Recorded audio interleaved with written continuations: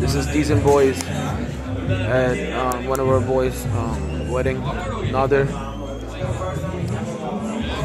Okay, man, making this video. And also,